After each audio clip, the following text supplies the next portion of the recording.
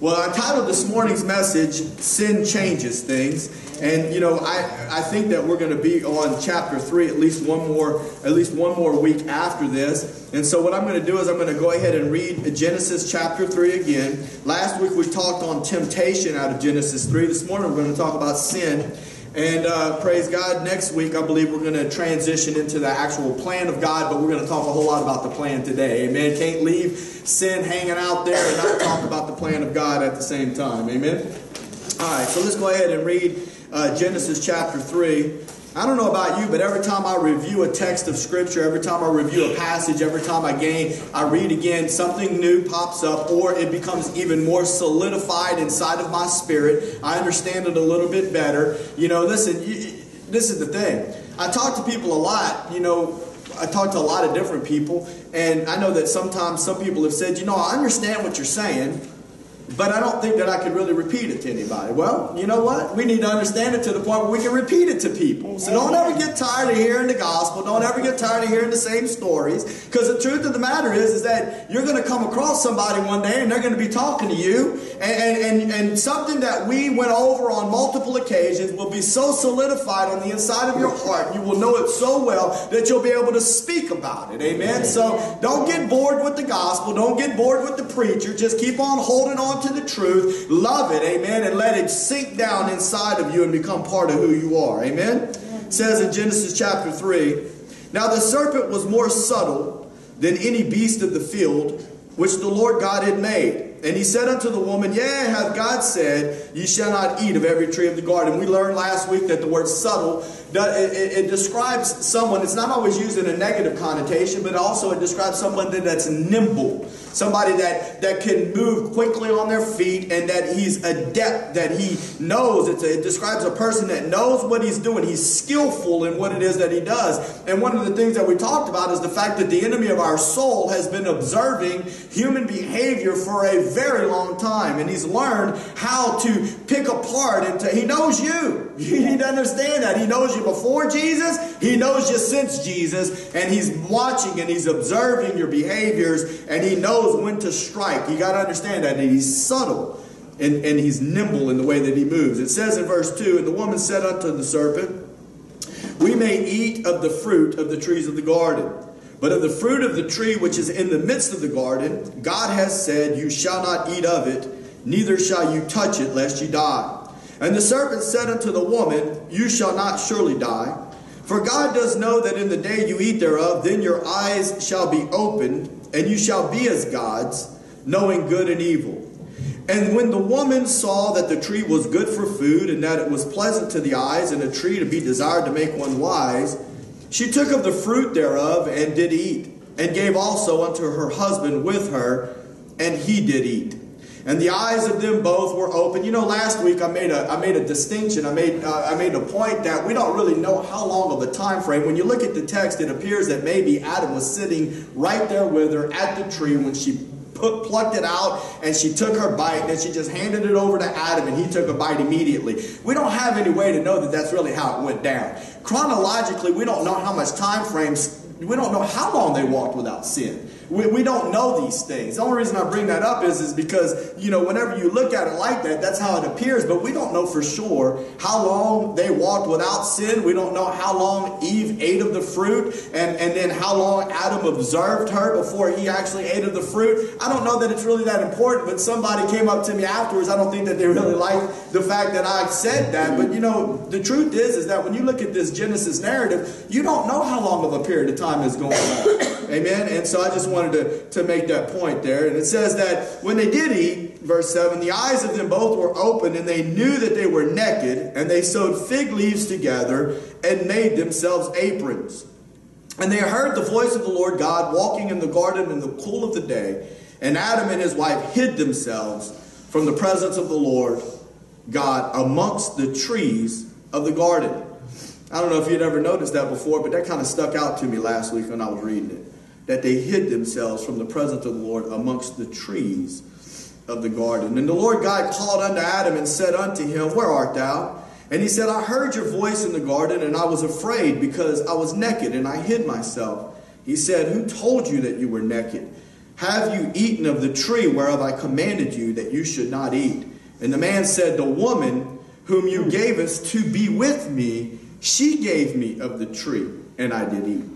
And the Lord God said unto the woman, What is this that thou hast done? And the woman said, The serpent beguiled me, and I did eat. And the Lord God said unto the serpent, Because thou hast done this, thou art cursed above all cattle and above every beast of the field. Upon thy belly shalt thou go, and dust shalt thou eat all the days of thy life. And I will put enmity between the woman and between your seed and her seed. It shall bruise your head, and you shall bruise his heel. Unto the woman he said, I will greatly multiply your sorrow and your conception. In sorrow you shall bring forth children and you de- and thy desire shall be to thy husband, and he shall rule over thee. He goes on to say unto the woman, he, verse 16, uh, unto the woman he said, I will greatly multiply thy sorrow. Verse 17, and unto Adam he said, because you have hearkened unto the voice of your wife, and have eaten of the tree of which I commanded you, saying, Thou shalt not eat of it, cursed is the ground for thy sake, in sorrow thou shalt eat of it all the days of thy life. Thorns also and thistles shall it bring forth to thee. Thou shalt eat the herb of the field. You know, I didn't put this. I had like probably five or six points connected to sin that I was going to make. I had to whittle it down to three. But one of the points that I was going to make that I thought was pretty good was, was thorns and thistles. Actually, I had a picture. I think last week I was going to put in in, in the uh, teaching. I don't think I, that I actually did. Maybe I did in one of them. But you know, thorns hurt when you reach down and you go to grab a weed and you accidentally grab a handful of thorns, I don't know if you've ever done that before, but I used to do landscaping when I was a teenager and I hated that job and I hated pulling weeds. And I just reached down there because I was angry all the time when I was doing it and I just, just start snatching stuff. And boy, one time I grabbed a, hand, a hold of a handful of thorns and, I, and it ripped into my hands. I'm telling you, thorns and thistles hurt. You hear me? Mm-hmm. And the truth of the matter is, is that sin brings pain. And we need to understand that. You know, the earth is fallen, is corrupt, amen, and sin will bring pain into people's lives and into our lives whenever we engage in the midst of it. It says in verse 19, in the sweat of your face you shall eat bread. That's another one. You know, it's like this woman told me, you know what? I just prayed to the Lord and he took away my labor pain. Don't come up in here if you're a man saying, man, I prayed to the Lord. He told me I don't have to work. because the word of God says right here, no, that's not true. The Word of God says you're going to have to earn some sweat on your brow in order to make your bread. You got to go to work. The Word of God says he who doesn't work is worse than an infidel. The Lord wants you and I going to work. Not only will you be able to supply and provide for your family in that way, but it gives you a whole new environment. I got to tell you something. Sooner or later, the people that live in your house going to get tired of your preaching. They're going to get tired of hearing you talk about your Jesus if you do talk about him. But the Lord wants to send you somewhere somewhere where you got a whole new class of people that you're able to talk to. Amen. And uh, if you do it right, the Lord will let that continue on for, for quite some time. I know, look, I'm, you're not going to get me to tell you that you're not supposed to preach Jesus in public because I don't believe that. That's right. Listen to me. And people can talk about abortion and they can talk about gay rights and they can talk about all these other types of things. Don't tell me I can't talk about Jesus. I just got to be led by the Holy Spirit and do it right. I don't want to be offensive. I don't want to, you know, make people angry about my Jesus but don't say that I can't talk about it. I got a freedom of speech. Amen. But you know what? Somebody, I don't know if it was the other night, uh, a little post that we had seen on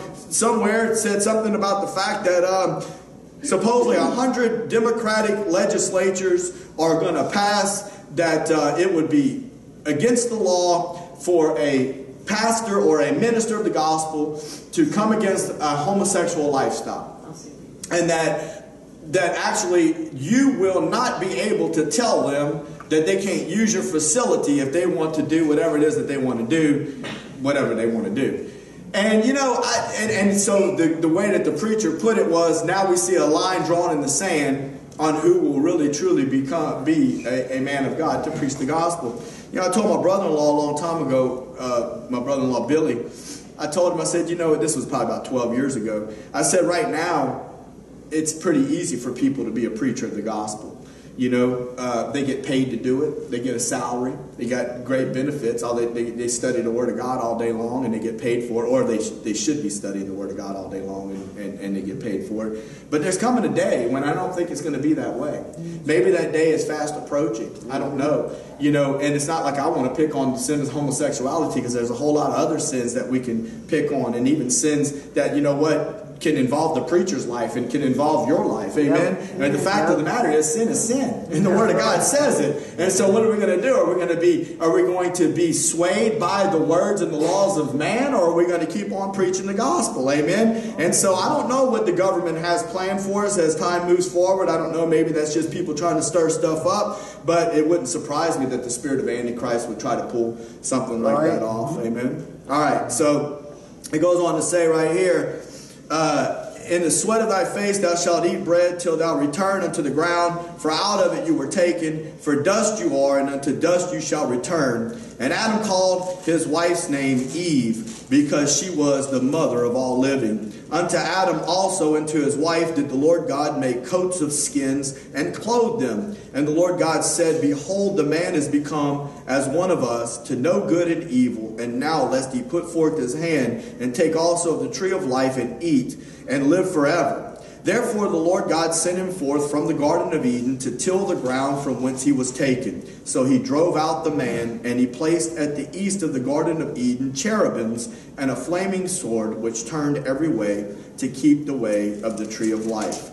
And so, praise the Lord. We thank you, Lord, once again for the reading of your word, Lord. And we just ask, Lord, that you would help to us this morning to open up your word, that we would receive revelation, Lord God, that you would speak to us. In Jesus' name we pray. So, I, once again, I titled this morning's message, Sin Changes Things. But before we do that, I just want to do a, a real quick review of last week and remind you of some of the things that we talked about regarding temptation. One of the first things that I just talked about really in my introductor, in my introduction when I was talking was that God's creation was a completed work, and that whenever He was done with with, with His creation on in six days, that He rested on the seventh day. And one of the main things that I wanted to point out was through that, at least that's what I see in creation. I mean, we can be really mesmerized by all the wonder and the beauty and everything that God has done, whether it be the oceans and the life that's in the oceans or the sky and the clouds and the sun and the moon and how things are divided and God separated light from darkness. And all those things are beautiful things. But when you get down to the bare bolts, when you get down to what it's really all about, God was creating an environment, a habitation for a creation to be able to dwell within, amen, to be able to live upon. And that creation was you, and that creation was me. God had a desire in his heart to have a relationship with a creation that he would make. You need to know that this morning. You need to know that that's really what the Word of God is trying to communicate. Why God would want to have a relationship with a person like me, sometimes I don't really understand it. I'll be perfectly honest with you. I'll look at myself, I'll look at my past, I'll look at my,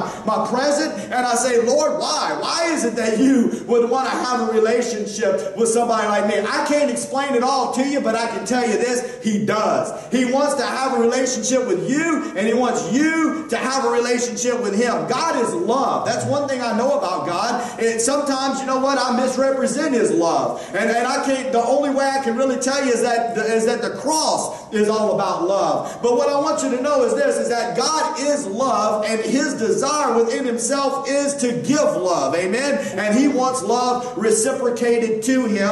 And so the point is, is that creation was all about providing an environment for mankind to dwell within so that God could have relationship with Him. We know that that's true.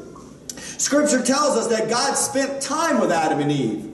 God wants to have, he, he prepared a place so that you and I could access His presence, so that you and I could walk with Him, so that you and I could talk with Him. I got to tell you, there's a day coming on the horizon when we're really going to be able to experience the presence of God in a closer, in a probably a deeper fashion than the way that Adam and Eve did, but but at least similar. Where the Word of God says that that, that the new heavens and the new earth will descend, and and that you know what that He that that God is going to tabernacle with man, and that you won't need a sun because He's going to be the light. God and, and the Son are going to be the light, amen, that are going to light the whole world. You're going to dwell with him and you're going to be in his literal presence. He's going to rule and reign upon this earth.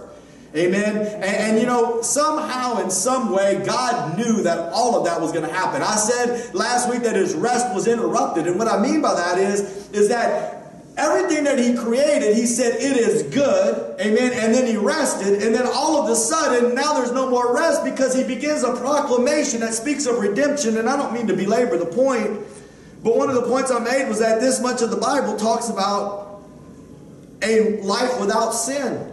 And, and everything else talks about a book that's dealing with sin. And all of the work, if you would permit me to say it that way, that God put into action, that God, God put into motion in order to remedy the malady, another fancy word for sickness, of sin that has now engaged the human race.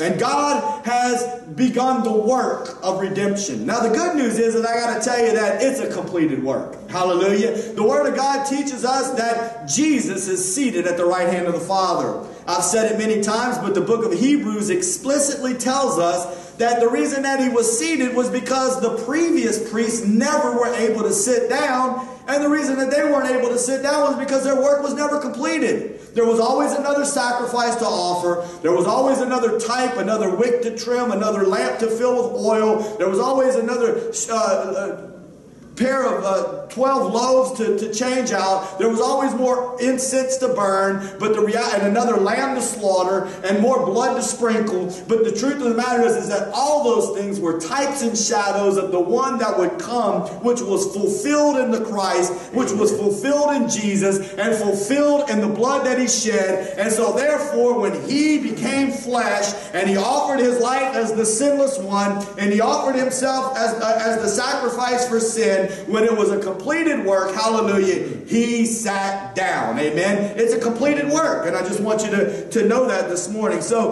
while his rest was interrupted, God already knew beforehand, and we talked about that scripture last week, 1 Peter 1.18, that, that the fall was going to take place. Not that God wants the fall to take place, but God knew the fall was going to take place. And before he ever fashioned and formed the world, the Word of God says that you weren't redeemed with corruptible things such as silver or gold, but by the precious blood of a lamb, which was foreordained before the foundation of the earth. The Lamb of God was already prepared in the mind of God to redeem fallen man before he ever fashioned the world upon which you and I live.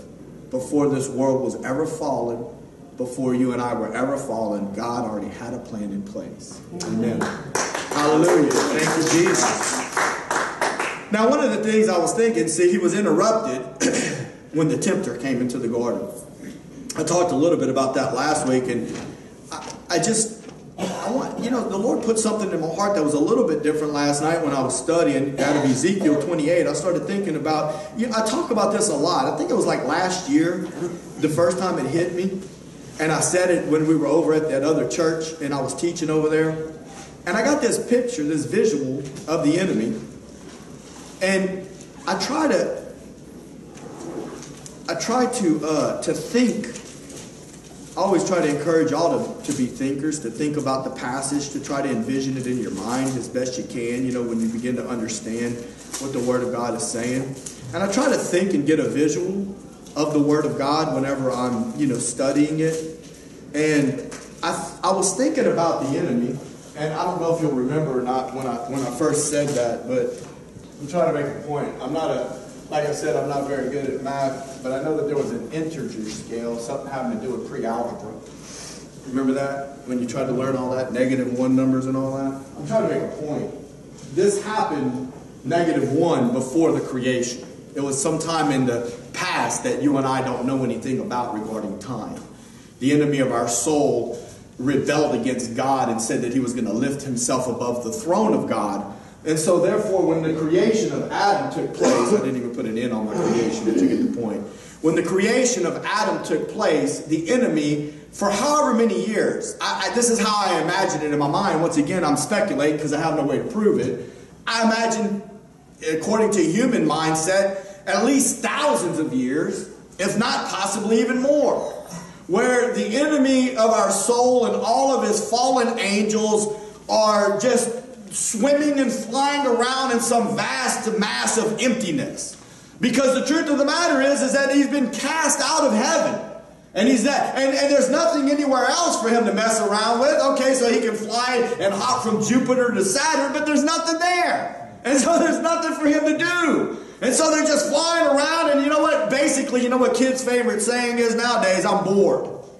And so I would imagine how empty that feels. You don't want to feel that way for all eternity, I can tell you. And that's what hell is going to be separation from the presence of God for all eternity.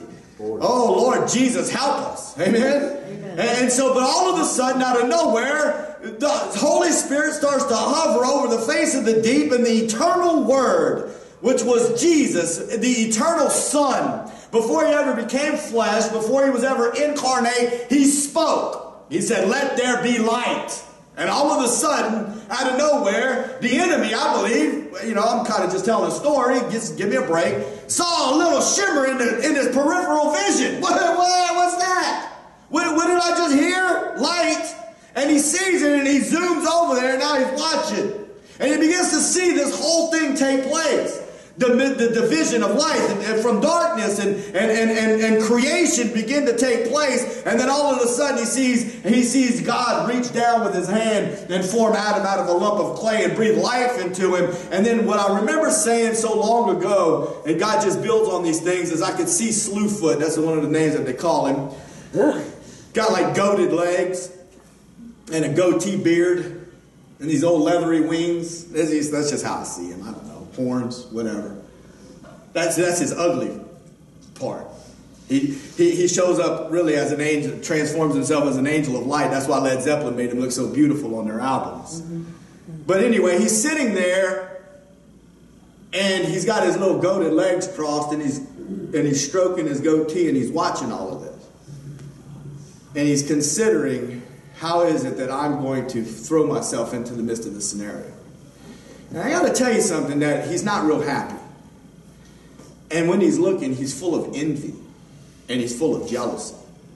Because he once was in the presence of God and he knows, he sees everything that's going on. He understands that God has relationship and that God is love. And now he's, he's experienced a separation from all of that. And he knows his demise and he knows that there's no longer any hope for him. And it says in Ezekiel chapter 28, verse 13, it says, You have been in Eden, the garden of God. Now, I have to tell you, we don't have time to really break it down, and I can prove it from the scripture, I believe that, that there was obviously an ancient Eden that existed before the one that we're reading about with humanity. Because it's talking about Lucifer, and it, uh, or at least it's talking about this angel before he was in his fallen way. And we know that, that he had already fallen before the world was ever formed. Does that make sense, what I'm trying to say? It says that you were in Eden, the garden of God, and every precious stone was your covering. It's describing him before his fall.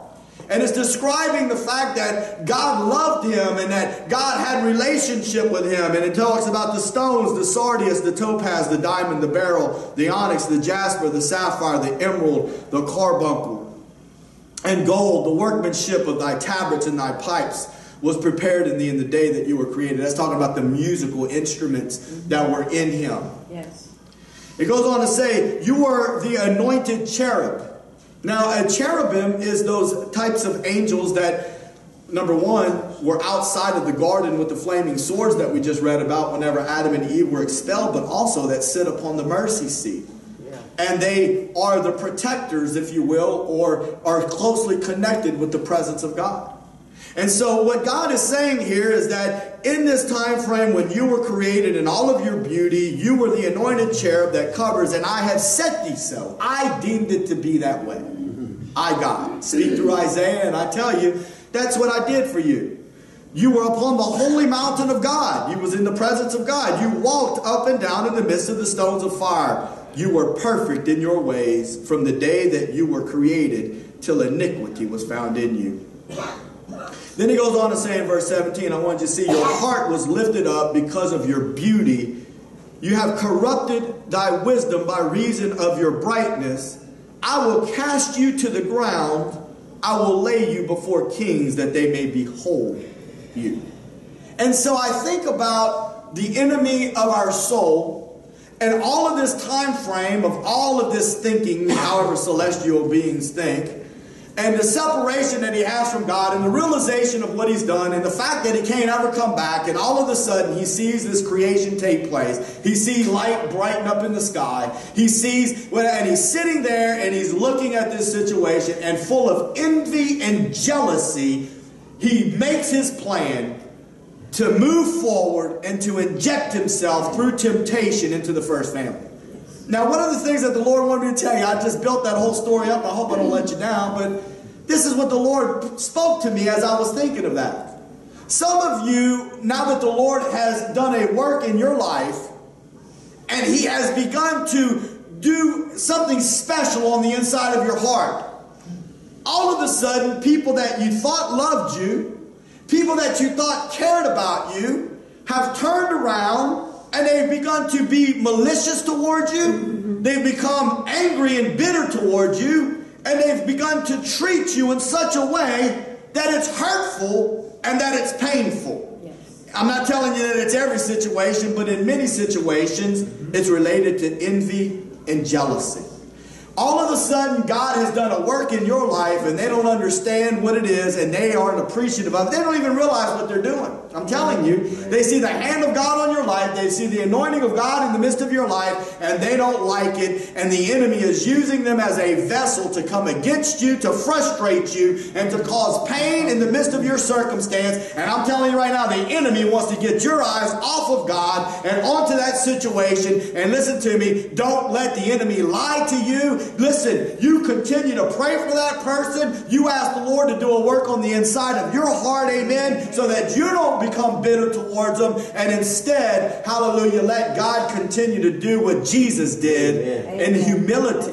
Amen. And I felt like the Lord really wanted to say that to somebody this morning. So, really, what I'm trying to talk about right now, though, was that creation was a completed work and that God rested, and that in the midst of it all, we see the tempter coming, and that's what he did. And we talked a little bit about temptation. We talked a lot about it. We talked out of this scripture right here. Says, All that is in the world, the lust of the flesh, the lust of the eyes, and the pride of life, it's not of the Father, but instead it's of the world. We talked about the fact that temptation will always come at you and it will engage your physical senses. It'll engage your flesh. That can be anything tactile stimulation, taste, the way something smells, what you hear. But it's going to engage your senses in some way, shape, or form, and it's going to make you feel good. Not only that, it's also going to engage the way things look. It's going to be pleasant to your eyes. I can assure you that when you're tempted, it's going to be something that entices your eyes. and It's going to be something that makes you feel good. And at the same time, it could also have be connected to the pride of life. If I could just get an upgrade in this area right here, everything that I was ever felt bad about is finally going to be better, and, and that's the pride of life. I, I, I feel like if I just get one of these right here, it's going to make things a whole lot better. And I'm here to tell you, you can try to keep on upgrading. You can try to get better. I'm not saying that you won't get any pleasure out of it, but it's not going to fill the void because the fact of the matter is, is that everything on this earth is, is ultimately fallen, and the only thing that's really going to bring us ultimate fulfillment is the Lord. But he says it's not of the Father, it's of the world. And I wanted you to see in that context, people say, well, what's wrong with the world? The world's fallen. And the word world right there is cosmos, and it's talking about an ordered arrangement. And when you look at the context of what that last scripture was saying, it says that all these things are not of the Father, instead, they're of the world. So the idea there is that it's talking about the world in its fallen sense. It's talking about the inhabitants of the world. It's talking about the spirit of Antichrist and how it's driving mankind to perceive things a certain way. And that the enemy of our soul, now that he's injected himself into the human race, this is how he works, this is how he moves. And this is how he operates in the midst of humanity, trying to draw us away from God into what his plan is. One of the other things I talked about was that temptation is everywhere. See, now that temptation gave way to sin in the first family, it's in us. And that's what two of these scriptures talk about Jeremiah 17, 9 and 10, and also James chapter 1. It just describes the fact that sin now is in man. It's almost like you have a receptor site for sin. You know, whenever David and I went to nursing school, we had to learn a lot about receptor sites and substrates and the fact that medications are built that way. That, you know, a medication releases probably a certain type of a protein, and that protein wanders around in the body till it finds a receptor site and it connects itself to that receptor site and then it unlocks something and it engages a change to take place in the midst of the body. Now that sin lives on the inside of you, I got to tell you that temptation is floating around. It's just looking for a receptor site, a way for it to be able to come in and find its way. And, and not only that, so it's everywhere. It's, all, it's in you. The receptor site's in you. But listen, in the scripture, it talked about the fact that the tree was in the midst of the garden. No matter where you go, no matter where you turn, it's right there, center, in the middle. You're going to see it. The enemy of your soul is constantly going to be bringing that stuff around you. Temptation is also desirable. Fact of the matter is, is that if it wasn't something that didn't look good, if it wasn't something that wasn't pleasing to your eyes, see, to her, she saw that the fruit was something that was pleasant. To David, I used him as an example, Bathsheba, he saw her and said that she was beautiful in his eyes. If she wasn't beautiful, he wouldn't have been tempted. If it didn't look good to him, he would have never gone that way. It just would have been another woman on a rooftop taking a bath, and he would have went out there and he would have shook off his little prayer shawl or whatever it was, and he would have went back about his business. But the fact of the matter is, is that it was something that looked desirable to him, and we, we need to understand that that's how the enemy is going to try to engage us. Temptation will also use people. It says that in the scripture, she took the fruit thereof, did eat, and then she gave it to him. And we got to be careful of the company that we keep, and we need to understand this that the enemy of your soul wants to use other people in your life. Sometimes it's people that are very close to you, and, God, and the enemy of your soul will use people to bring temptation your way. All right? And then lastly, temptation promises to fill a void. We talked about the connection between how Eve's temptations were very similar to Jesus's, and that it, for her, it was something that was desired to make her wise, and for Jesus, he was hungry. I used that word satiety last week. I don't know if y'all remember that night. It has the idea of satisfaction behind it. Jesus was empty of something on the inside. His humanity needed to be filled. The enemy came at him with a temptation to fill something up. And the truth of the matter is, is that temptation will always have the promise to fill you up in an area that, that you feel like you're empty. But ultimately, this morning, we're talking about the fact that sin changes things. And the first thing that I wanted you to see was in Genesis chapter 7, it says, And the eyes of them both were opened, and they knew that they were naked, and they sewed fig leaves together, and they made themselves aprons. So I was trying to think about this. And you know, it's a difficult thing to wrap your mind around when it comes to what this was like for Adam and Eve. And, and the reason that I say that is, is that you and I, we're, we were never anything like Adam and Eve. Like, there was a period of time that Adam and Eve walked with God and had no sin in them. Whenever Matt was born, I was told by my mama that I was a good boy. Now, I don't know. Maybe all of y'all's mamas told y'all that. I don't really know. Mama says, she swears up and down that I'd come running down the street at about six, seven years old. Every time I tell her, Mama, I said another cuss word. I just wanted to let you know I'm going back to play. All right. I, I guess that's true. I, I, don't really know. Still, in all, that doesn't mean that Matt was perfect. Let me tell you. I remember one time when it wasn't that much older that I had come back from football practice and I was sassy. Daddy wasn't around. And I'm like, you know what? I ain't going to do that. And I still had on my football pants, and she went to trying to whip me with that belt, and I had my butt pad right there, and I was just laughing and laughing and rolling around on the floor. It was just so funny. And she said, why are you laughing? I said, because I got my butt pad in, and it's making no, I can't feel nothing. And so she put the belt down to try to unsnap the butt pad, and when she did, I took off running. And then I had to face daddy when he got home. The point is, though, is this, is that Matt was born in sin, just like each and every one of us have. And there's a, there's a streak of rebellion in each and every one of us. So it's hard for me to wrap my mind around what Adam and Eve felt whenever they first sinned. You understand what I'm saying? Because at one minute, you're, you're good with God. You understand? One minute you're walking with God in the midst of the garden, you're walking and talking with Him, you're having relationship with Him, and then all of a sudden you disobey. Your eyes are open, you realize that you're naked. In other words, your, your sin is exposed. You're now exposed to the elements, and now all of a sudden condemnation and guilt have entered into the midst of your environment whenever it wasn't ever there before. And the reason, and I want you to know that we need to understand the difference between condemnation and conviction. It's important for Christians to understand that. Now, what, first off, I want you to talk to you a little bit about condemnation. It's a sentence. Condemnation is a sentence that's spoken over your life. You ever been in the courtroom? Some of you have, some of you haven't. Whenever the judge gives the verdict, the sentence is passed. That's exactly what's going on. When you're guilty and the sentence is passed that you're guilty, that's what condemnation is. And ultimately, condemnation results in separation. We see that in this scripture. In verse 8, it says, And they heard the voice of the Lord God walking in the garden in the cool of the day, and Adam and his wife hid themselves, separation, from the presence of the Lord God amongst the trees of the garden. You know, I took it out, but I was thinking about the fact that sin changes environments too.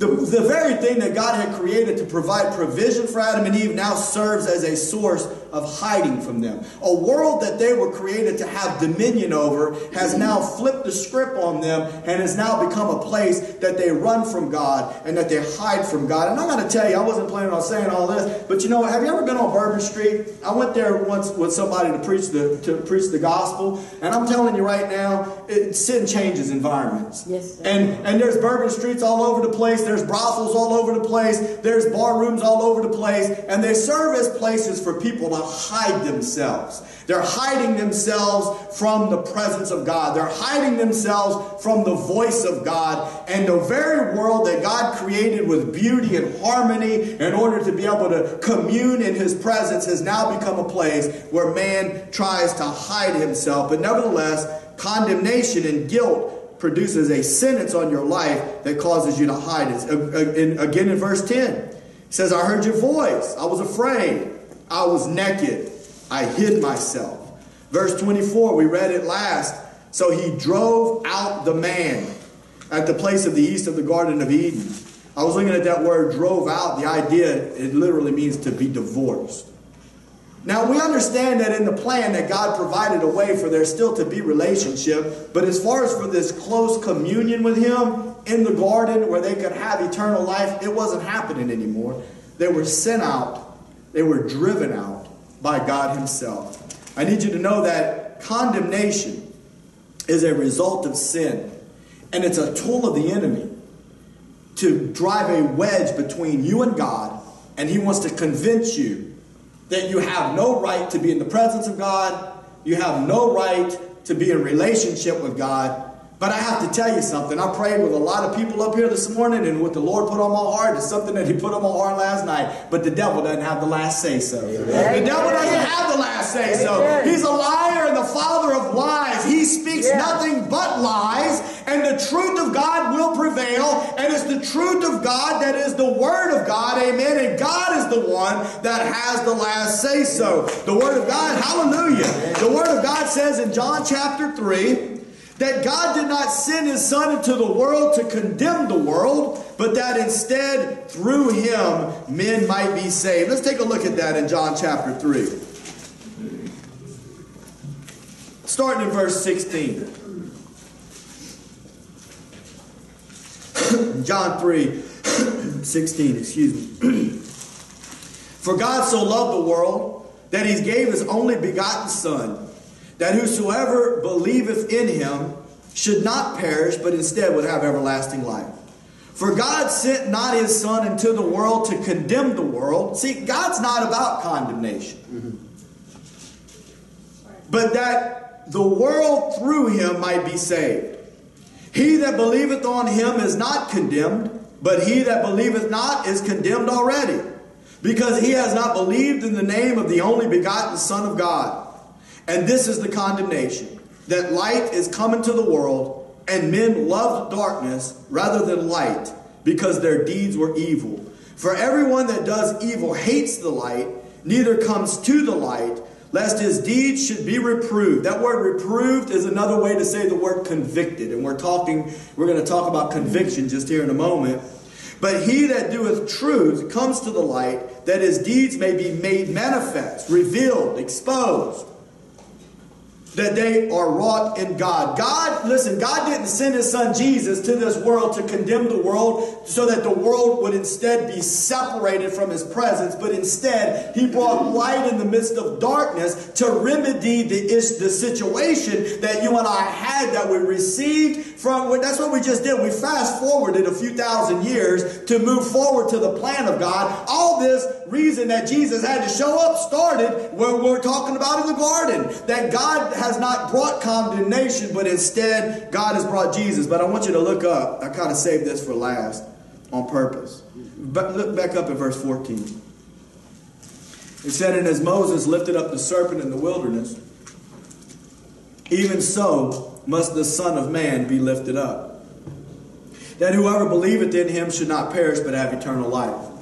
And the reason that I wanted to save that for last was because the narrative that we're talking about in Genesis chapter 3, one of the main characters is the serpent. And in the garden, I thought about this before a long, long time ago. In the garden, we hear the story of the serpent and how he slithers himself into the garden and he brings temptation and he brings sin into the human race. And then, really and truly, we don't hear a whole lot about the serpent again until in the book of, uh, I believe it's Exodus, it might be Numbers, whenever Moses is instructed by God to put a serpent on a pole. To put, to put a serpent on a pole, I thought about putting a picture of that on here, but I was, somebody might have said that I was trying to practice some kind of occult stuff. But, but nevertheless, the Lord instructed Moses to put a serpent on a pole. Now, you got to understand something. The word of faith teaching, many people say that's why he put a serpent on a pole, because Jesus became a sinner on the cross. That's a lie.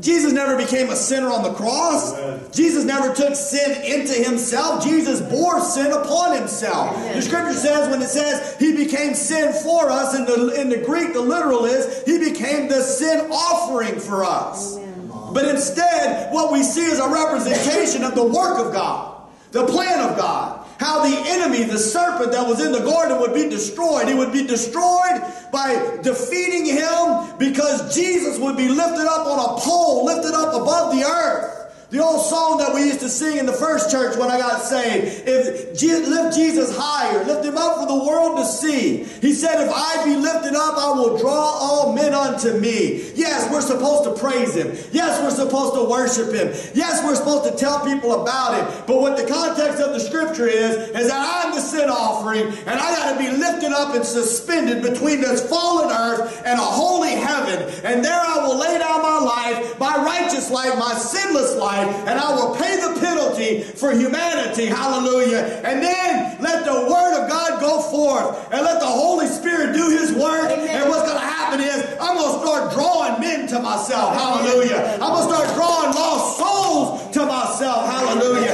And the gospel's going to work in their lives and it's going to change them Amen. in Jesus' name. So I want you to see God's not about condemnation and separation. No. God's about reconciliation and restoration God wants relationship with this prized creation that He made this whole world for. Amen. He's not giving up on you. You need to understand that. You may not understand it. I know I, I, I've said this before too, but when David, I believe, looked in the reflection and he saw himself in all his royal regalia and questioned, What is man that you are even mindful of him? David could see his own self. David knew himself better. Come on. He knew what he had done. Why would you even take notice of man? Whatever the reason is, David, he loves you. He loves you. And you can't get away from it. You can't run from it. He loves you he wants to have a relationship with you. Amen. That's condemnation. It wants to separate you from the presence of God. It's a tool of the enemy. Conviction, on the other hand, it wants to bring something to the light. It wants to expose it. God wants to bring things that are in your life to the light, to his light. He, he's, not, he's not necessarily always about making you look like a fool out in public. God's very merciful. I'll, I'll, be honest with you. I mean, I don't want to get ahead of myself, but David's sin never really got out in the public completely. I mean, well, maybe it did as time went forward, but the point is, is that in some way, shape, or form, it was at least hidden to some extent what had gone on because of the fact that the law said he had to be stoned, and he was never stoned. God's merciful and, he, and He's gracious. But he definitely wants to expose things that are in your heart and in my heart to his light Yes. so that those things can be dealt with. That's what conviction does. Yes. Amen. God, God, you see, the enemy uses condemnation as a tool to separate you from the presence of God. God uses conviction as a tool to restore you into His presence and to work on the inside of your heart. The word conviction literally means to convince, to tell a fault, to bring a rebuke, to reprove. God wants to convince you of some things. He wants to convince me of some things. He wants to convince the world of some things. I like this scripture in John chapter 16. starting in verse 5.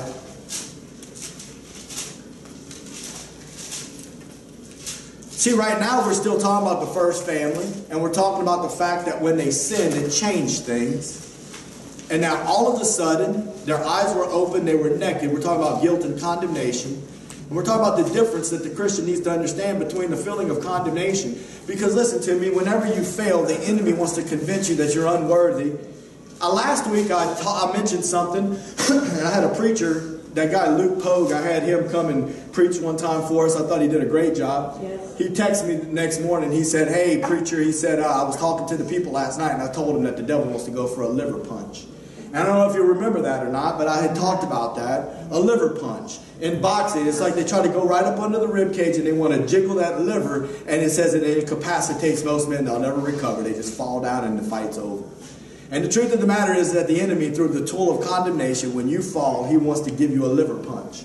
He wants to convince you in your heart and your mind that you've gone so far away from outside of the will of God that there's no more hope for you. Just lay down, you failed Christian. You have no more hope. Just lay down and wallow in the midst of your mess. If that's where you just choose to live, then that's one thing. But I'm not going to live there by the grace of God. Amen. I know what the Word of God Amen. says, amen. And I'm going to, by the grace of God, let the Lord lift me up. And I'm going to keep on walking and I'm going to keep on serving Jesus. I'm not going down with a liver punch. I'm not going to believe the enemy uh, that, and, and his condemnation and his ploys and his games to try to separate me from the presence of a God that loved me enough to create a whole world and a universe just so that I could exist upon it and then would send his only begotten son to be suspended between heaven and earth in order to purchase me back, hallelujah, from the midst of my sin. I'm going to believe that word before I believe the word of the lying enemy. Amen? But it says right now, in verse 5 of chapter 16, and we're talking about conviction now. But now I go my way to him that sent me,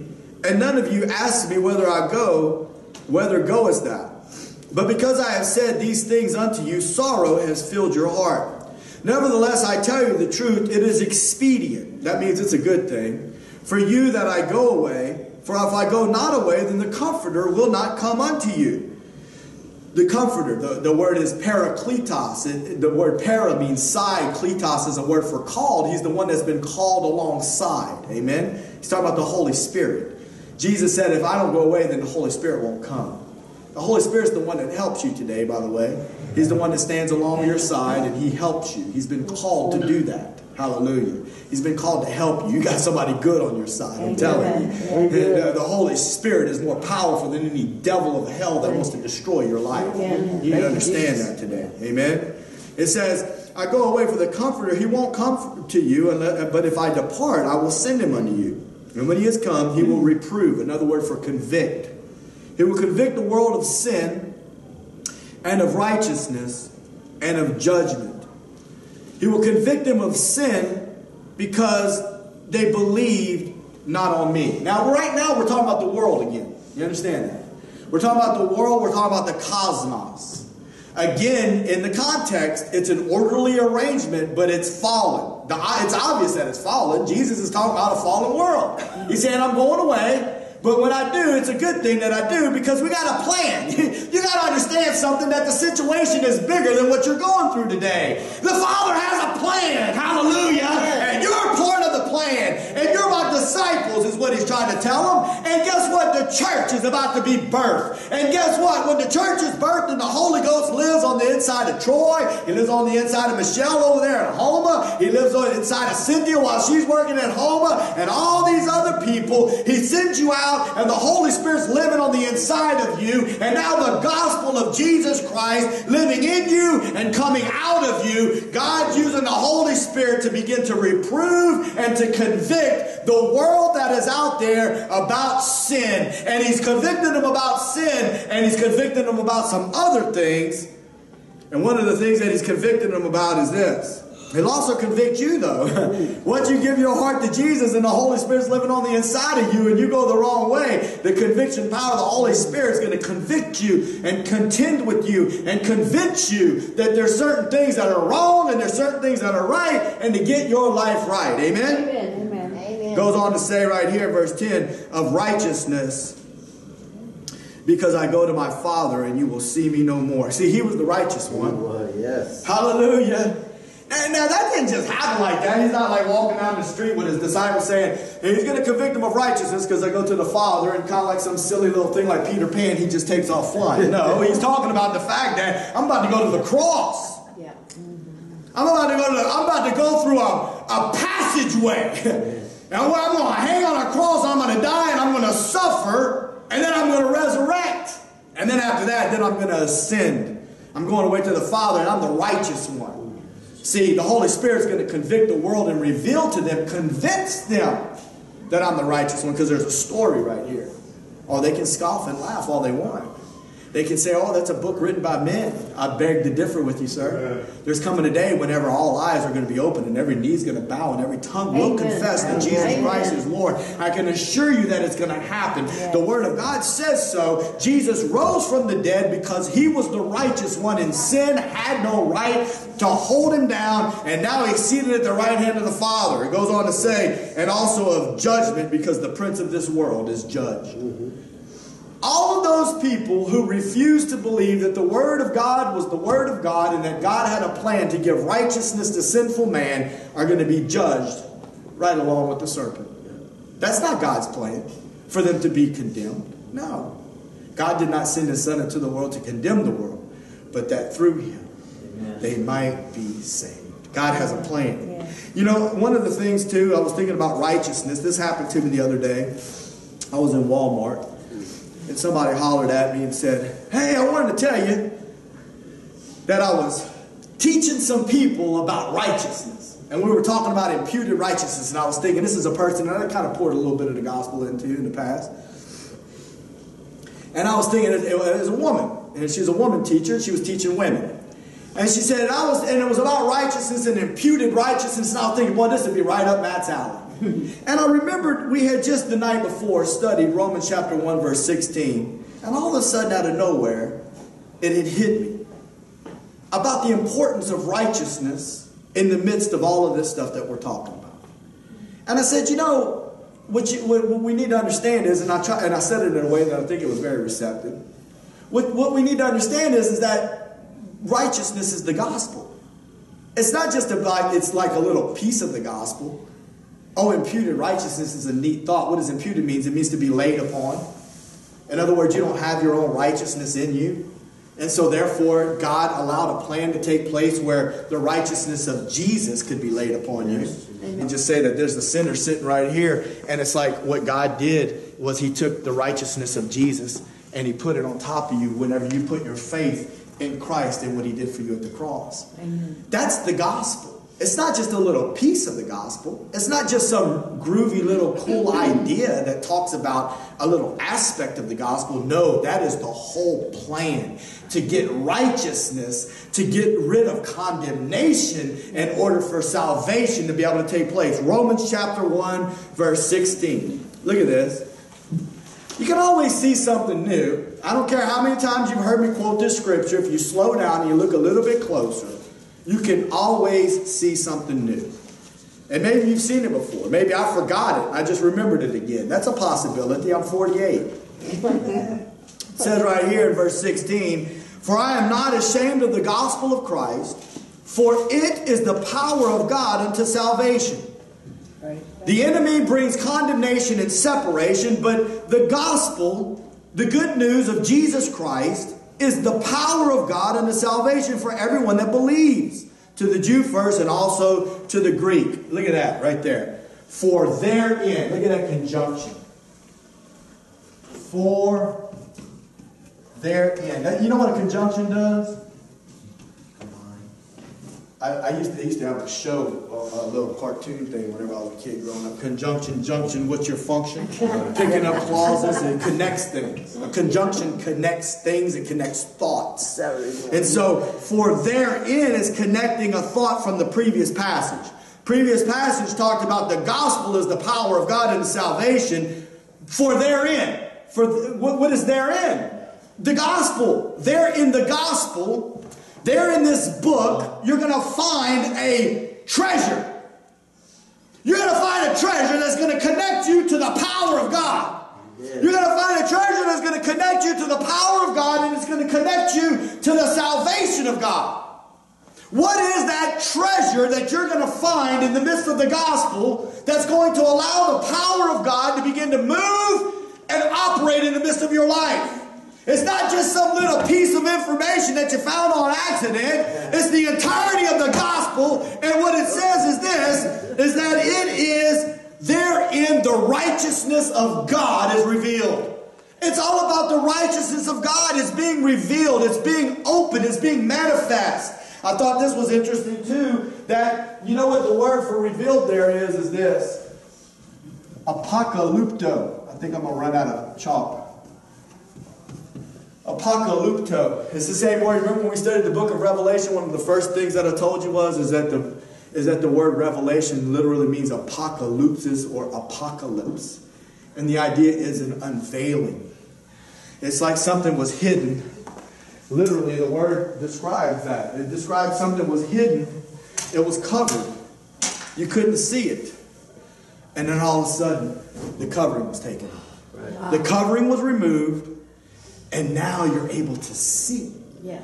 And what you need to understand is, is that I don't care how much you think you got in your intellect or your cognition right here, you need to be able to see. It needs to be manifest before your eyes that the power of God is directly related to the revelation about righteousness that was given to from God to mankind, amen. And therein is the righteousness of God revealed. Listen, the Holy Spirit, Jesus said, was going to convict the world of what righteousness was. If the world system refuses to accept the righteousness of God, the plan of God, the gospel of God, it will find itself remaining condemned. If the church refuses to preach the truth of the gospel that tells mankind no, tells the believers no, it's not about what you do. Instead, it's all about what he did did, the righteous one, hallelujah, and his finished work, then we're going to remain under a cloud of condemnation and guilt. But man, I'm telling you right now, if we can get a revelation of God's true plan and what he's doing,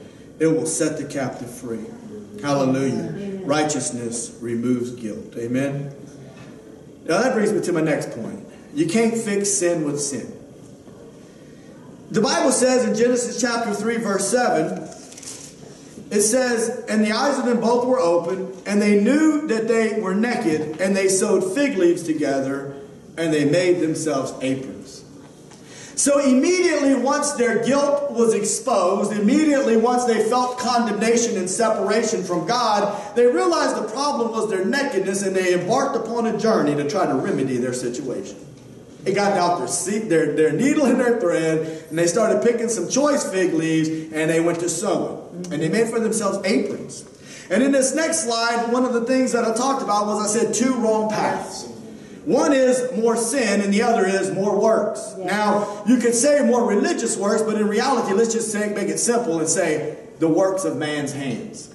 Many times, people, because of their condemnation and guilt, will feel so unworthy that they will just try to find more sin to make the pain go away. Amen. You understand what I'm saying? Yes. Because the truth of the matter is, is that sin will elevate or increase in your heart and your mind for a period of time. It'll give you a little bit of a high. Yes. That's why people do it because it makes them feel good. Whether it be a drug that changes the neurotransmitters or whatever the case, and they will find themselves continuing to engage in sin, whatever the case, in order to make the pain of the situation go away for a period of time, to just numb it, to forget it, and make it go away. The second other wrong pathway, though, is, is more works. The works of man's hands. Not just religious works, because as we'll see, we'll probably get there maybe next week. Cain attempted through the works of religious of his religious hands to remedy his situation and the reality of it is is that it was contrary to the ways of god mm-hmm. but not only that any kind of works of man's hands i'm telling you right now and listen to me, you, you, could, you could say, people have fussed at me about this before. Well, what's the difference between psychological medication and, and, and, and physical medication? Well, first of all, I'll say this. The word psyche, and I know y'all have seen this before, comes from the word suke. This word we use in English to describe the mind. This word we use in English to describe the soul. The mind and the soul are directly connected one to the other.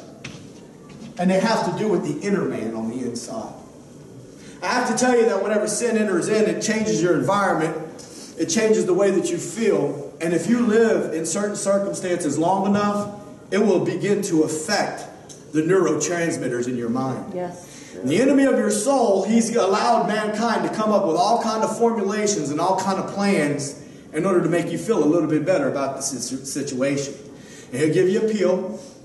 And a lot of times, those pills that they give you, yes, it'll elevate your neurotransmitters, but I've talked to multiple people on multiple occasions, and they never get the medicine right. They're always having to adjust and yes. change and stop. And then sometimes people are on it and they feel like they're zombies. Yes. That's because they, they're looking to fill something that only God can work on. Amen. And you got to give him some time. You know, one of the things that the Lord showed me was is that, listen, hold on, son, slow down a second.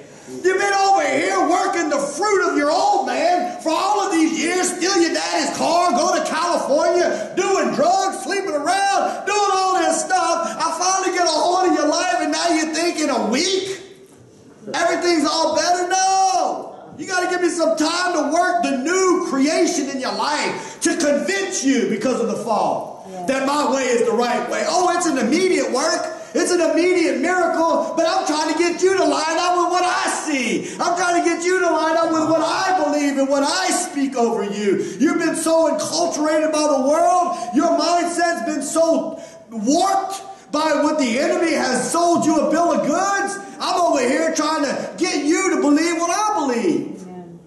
And he's trying to work on our inner man, our soul, the way we see things. We talked about it a little bit last week, but it's like, hold on a second, you lying devil, and I'm, talking, I'm not talking about the devil himself, but the people that the devil's working through. Bitterness. Well, whenever he's working through that envy and jealousy thing we talked about earlier. And I'm like, I'm about to retaliate. Amen. I'm about to get mine. The Lord's trying to say, but that's not how I respond. I'm trying to teach you to respond like me. Amen. Amen two wrong paths. You can't fix sin with sin. More sin's not going to make it better. And the works of your hands or the works of man's hands aren't going to make it better. And I'm telling you right now, churches are filled with it. I don't mean to beat a dead horse. Some of y'all heard me say it so many times.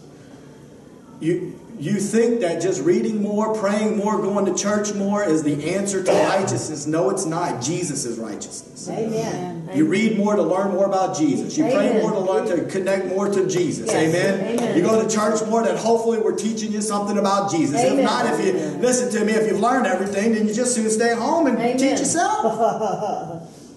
There ain't no sense in wasting your time if, you, if, if, you're not going to learn something about the Lord, amen, or get it even deeper in your heart and become solidified, yes. then, then you just sit stay home.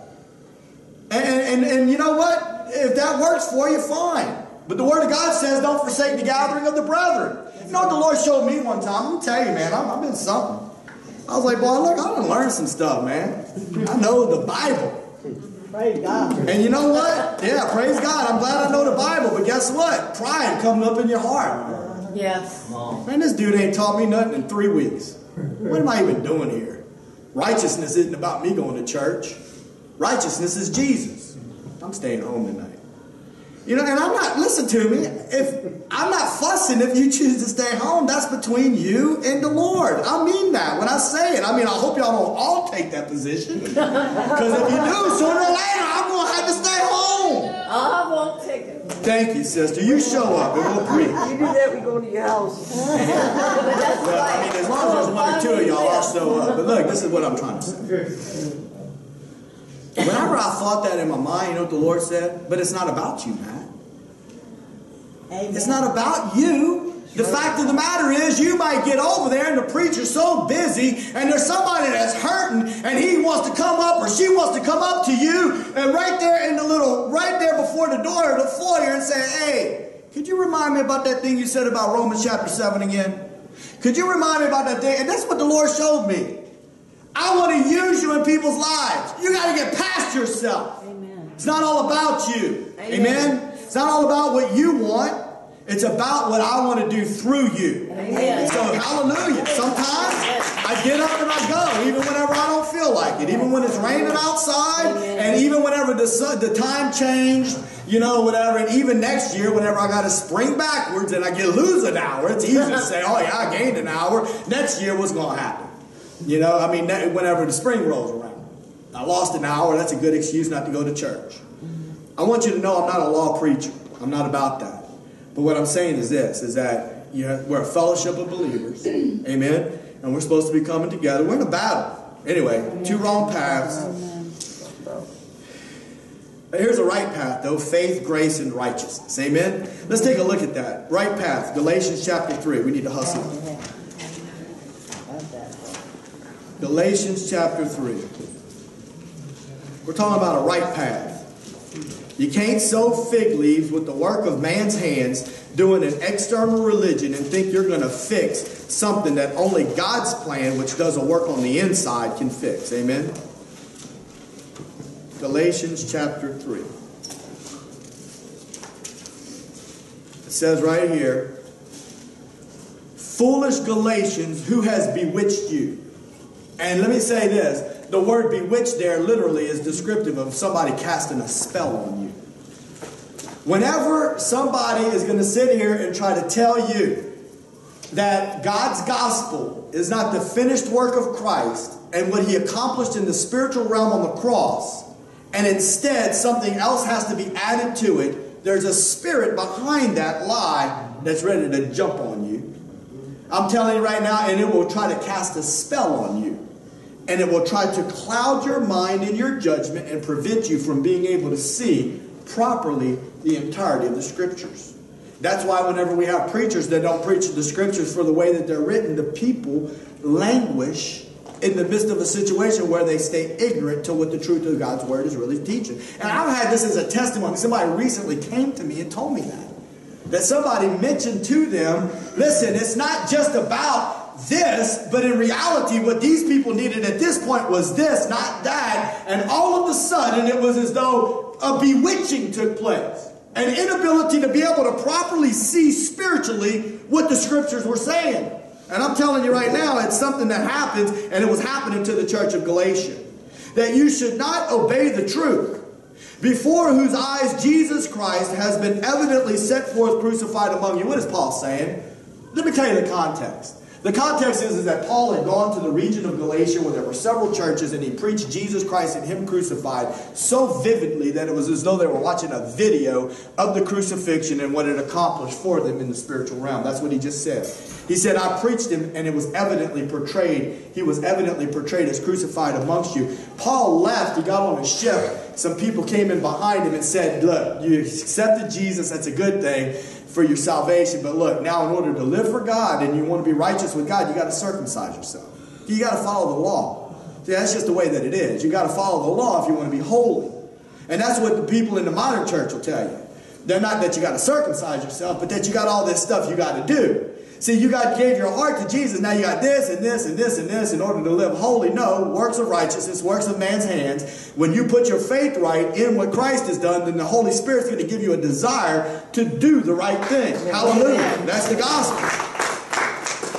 He goes on to say this, and he says it. This only what I learned of you Did you receive the Spirit by the works of the law or by the hearing of faith? Now, when he's talking about the hearing of faith, you got to remember what he just said. I preached Jesus to you so that he was evidently set forth as crucified amongst you. I preached him that vividly.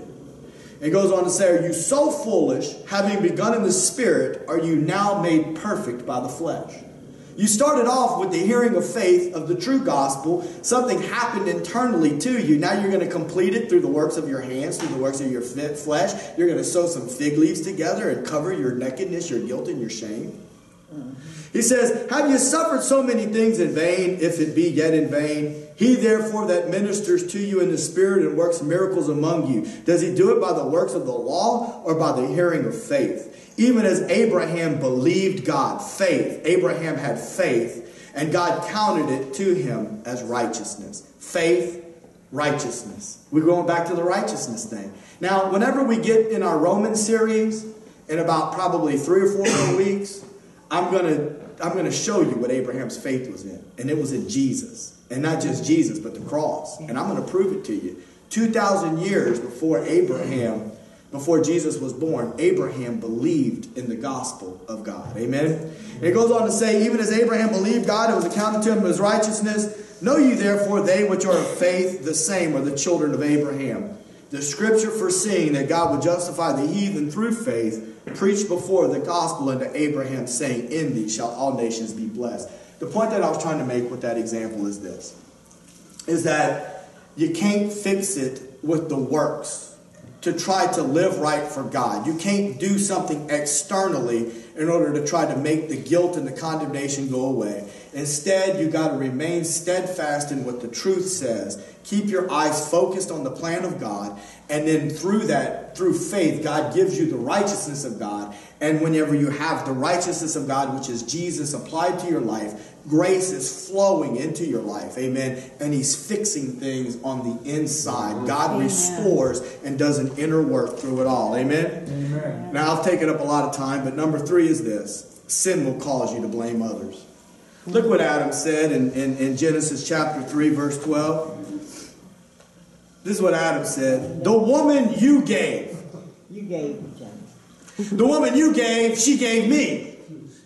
So who are you blaming, Adam? Is it God's fault or is it Eve's fault? Yeah, because it sure ain't my fault, God. You the one that decided to give me this woman, and she's the one that decided to give me this stuff.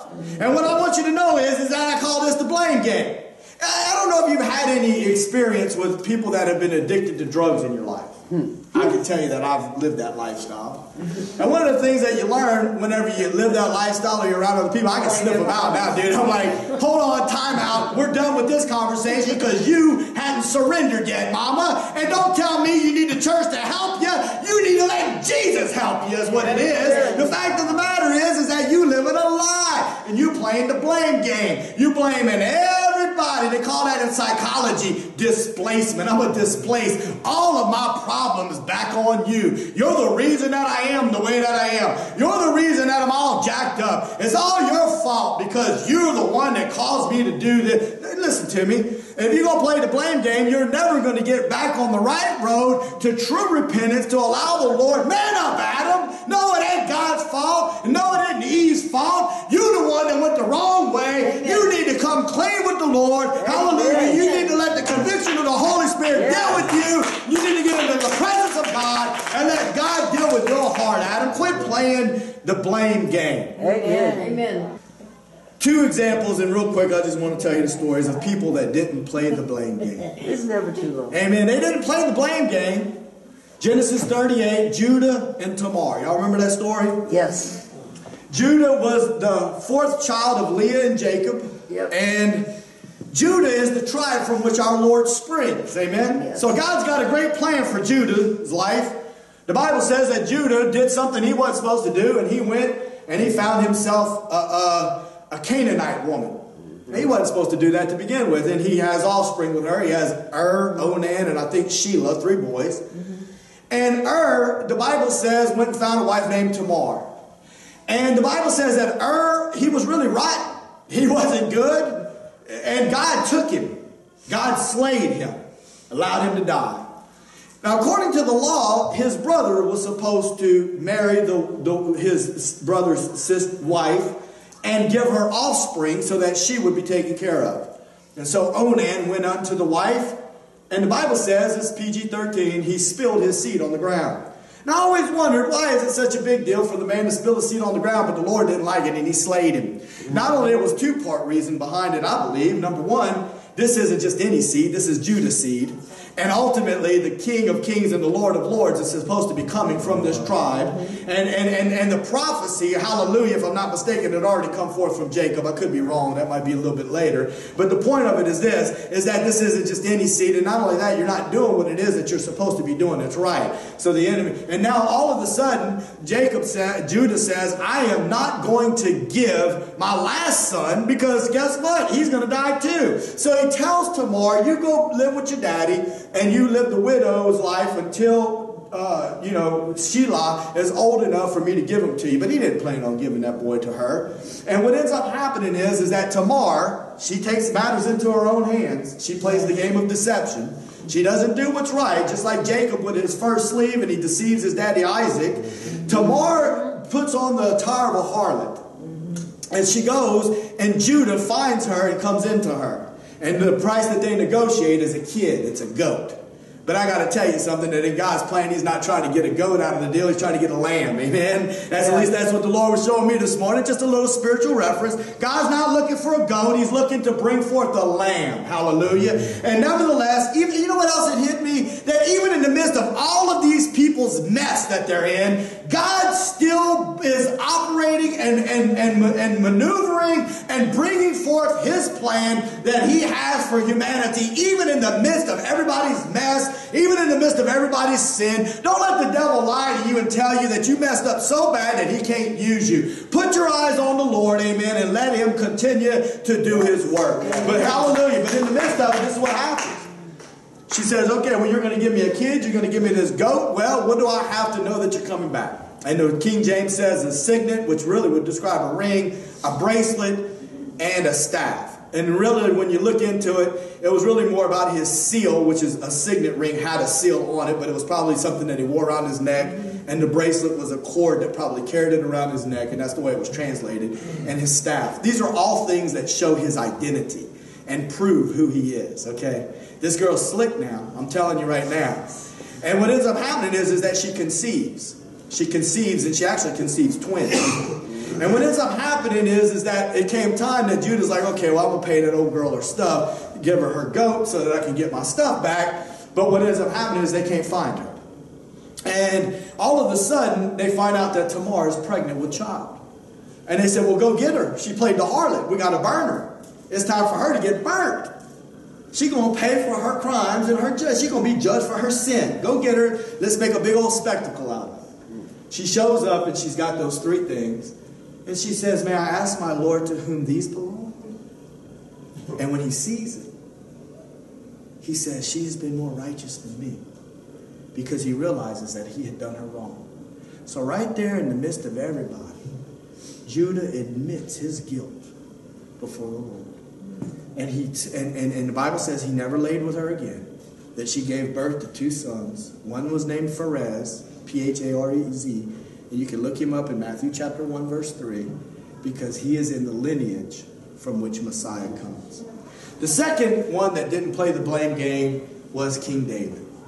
He saw Bathsheba, he saw her beauty, he took her into himself. You know the story. He impregnated her, and then he tried to cover up his sin. And the way that he did that was he brought her husband Uriah off the battlefield and tried to get Uriah to sleep with Bathsheba. When he wouldn't do it, he said, This isn't going to happen, king. As long as there's breath in my lungs and the men are back on the battlefield, then guess what? I'm not going to lay with my wife. And so David tries to get him to get drunk, thinking, you know what, if you get a man drunk, he'll go lay with his wife. He said, Nope, I'm going to sleep on your doorstep outside of your palace. And when it's all said and done, and David realizes that he's in trouble, he writes a letter to the general Joab and he sends him out on the battlefield. And he says, whenever he, the fighting is fiercest, back off from him and let him be taken. And so the, through the Ammonite sword, Uriah the Hittite, which was a mighty warrior for God, was killed under David's direction to hide his sin that he had committed with Bathsheba. And so now David has taken Bathsheba to be his wife. And all of a sudden, out of nowhere, Nathan the prophet in 2 Samuel chapter 12 comes to David and he says to him, he tells him a story. He says about a rich man who had all kinds of all kinds of a flock. And there was this one poor man, and he had this one little ewe lamb. And this lamb had grown up with his children, and he had, and, and it was it was a prized possession to him. But there was a traveler coming. And the traveler, what, what the rich man did was he took the ewe lamb away from the poor man, and he killed it, he slaughtered it, he dressed it, and he cooked it to feed the traveler, and left the other man brokenhearted. And in a fit of rage, David says, Who was it that did this? Because he's going to die and he's going to pay back fourfold. And Nathan said, You're the one. You're the one that did. You took Uriah the Hittite's wife as your wife, and you killed him with the sword of Ammon. And whenever David realized what had happened and that the Lord had exposed him, David said, I have sinned against God. David didn't try to blame. Oh, but she was so pretty. She was oh so beautiful on that rooftop. And I just couldn't resist it. God, why'd you have to make that girl so pretty? No, that's not what he said. Instead, he, re- he confessed his sin before God. And because of that, God gave life instead of death. The truth of the matter is this.